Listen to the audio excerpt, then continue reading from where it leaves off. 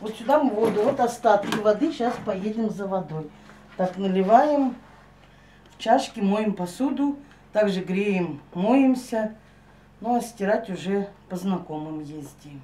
Вот телевизор тоже для красоты стоит. И вот для дистанционного обучения компьютер есть, ноутбук, но зарядить мы его не можем.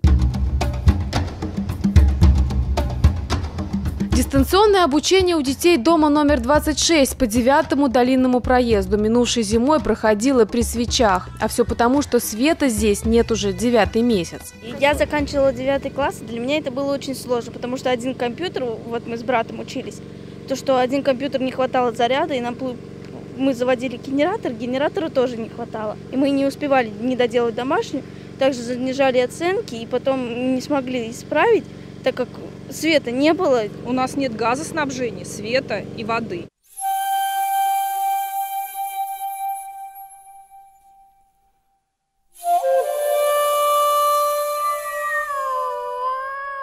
Проблемы начались с того момента, когда семеноводческая станция, которой принадлежало наше общежитие, обанкротилась. И вот с 2016 э, года наши обращения все и в администрацию города заключить с нами договора соцнайма, и в прокуратуру не, не последовало ничего. Саратов Энерго и МРСК Волги, они не против подключить нас, потому что мы платили всегда за электроэнергию вовремя, у нас нет долгов. Э, ну, в общем, просто нужно обращение со стороны администрации. Мы были на приеме у Корнеева, и это было в феврале 2020 года. И нас заверили, что в течение полутора-двух месяцев этот вопрос наш решится. Но, однако, до сих пор вот мы бедствуем. Без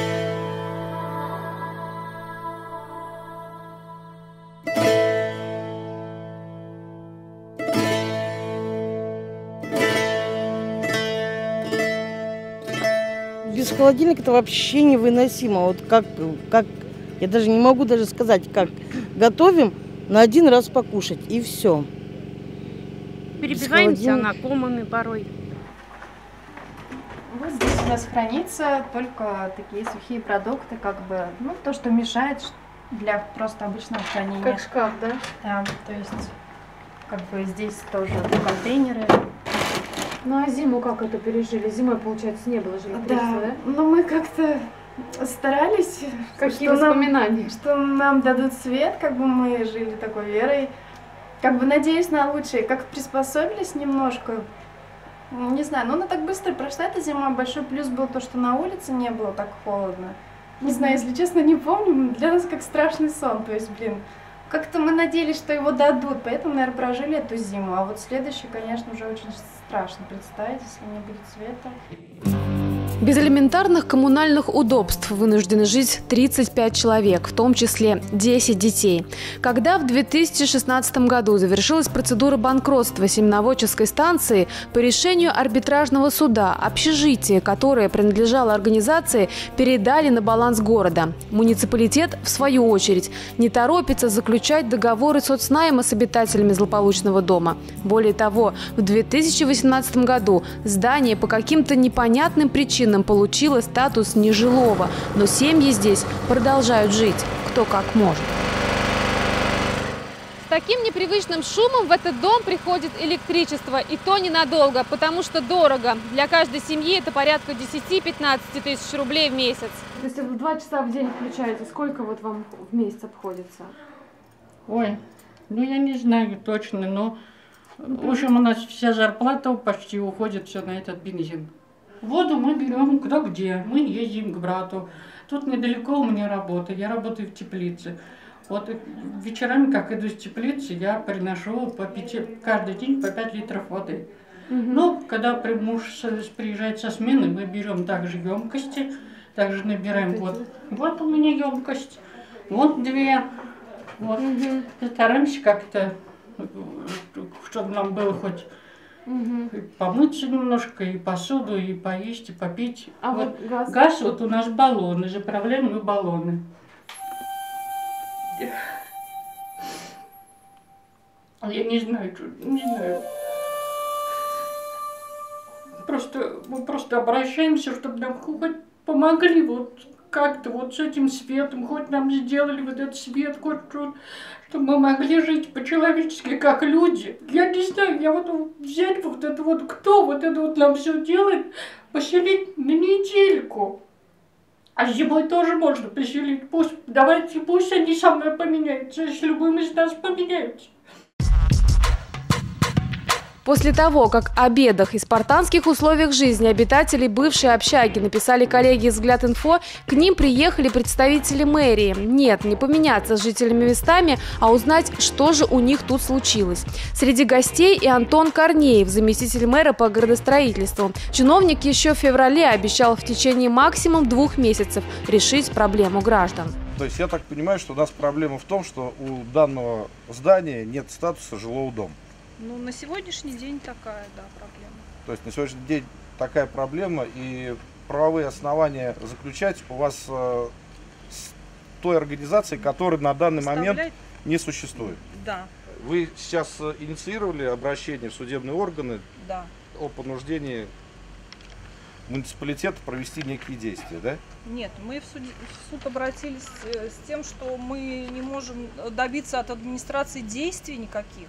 Мы просим, а действий нет. Да, а можно просто пройти посмотреть? Конечно. То есть просто посмотреть, да. потому что ну, по внешнему виду ну, мало похоже на общежитие, поэтому можно пройти посмотреть? Да, конечно.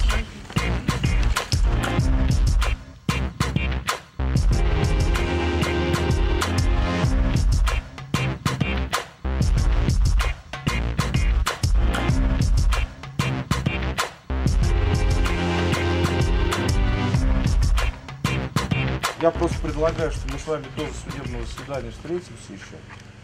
Просто проговорим какие-то моменты. Но механизмы юридические да. решения этого вопроса. Хорошо. пожалуйста, сроки.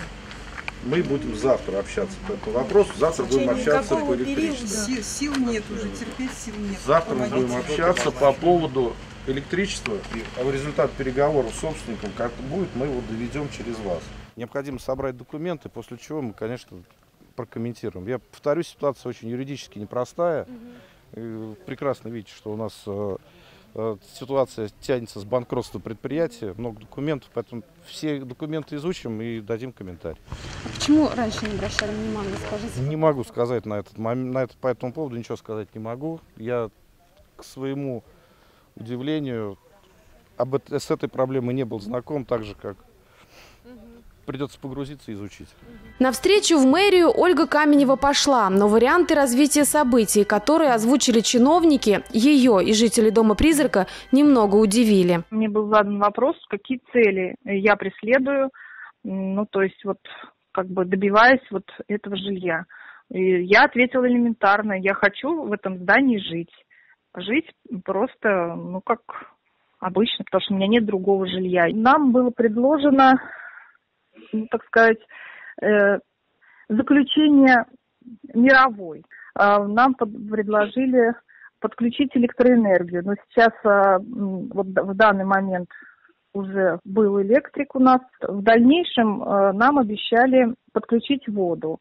Ну и э, основные вот эти моменты, о которых я говорила, о том, что э, нам нужны не только коммуникации, нам нужно и основания для проживания, то есть нам нужно договора э, заключить э, социального найма.